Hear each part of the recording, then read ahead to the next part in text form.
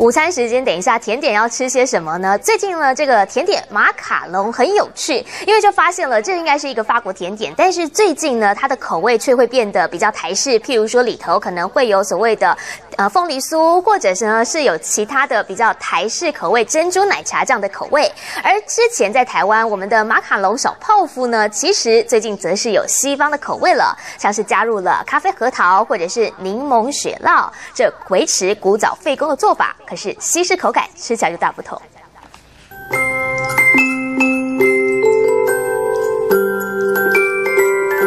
可爱笑脸包装，这原本是传统台湾小泡芙，换上新装，黄的、白的、咖啡色，台湾甜点界的马卡龙，做工繁复。生鸡蛋一颗颗，再倒入橘子水，随后加进面团，独门比例得拿捏好，到时候就能有酸甜松软的滋味。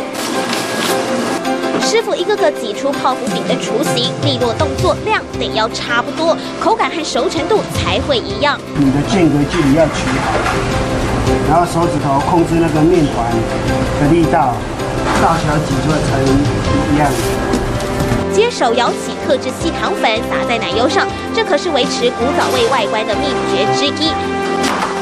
一盘盘出炉，挑起吹凉风干，小泡芙上头裂痕就是糖粉溶出的特殊痕迹，能维持泡芙饼的蓬松度。我们都是采取高温短时间烘焙的方式，哎，这样子才不会说时间烤久了，你的蛋糕底呢它就会干掉。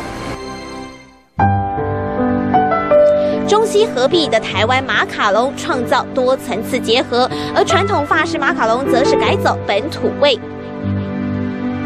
五颜六色，就像珠宝盒一样，像是这光亮棕色外皮，可是珍珠奶茶马卡龙，内馅奶油加入蓝伯爵茶，混合白巧克力，切开之后一块黑糖 QQ，就像在喝奶茶一样，有台湾味。还有白色偏黄外皮，上头有焦糖炙烧过的焦痕，里头包覆着土凤梨，一丝一丝的，吃马卡龙就像在吃凤梨酥。很在意食材新鲜这部分，就会都用台湾的一些新鲜的水果啊，然后市场就是当天去市场挑。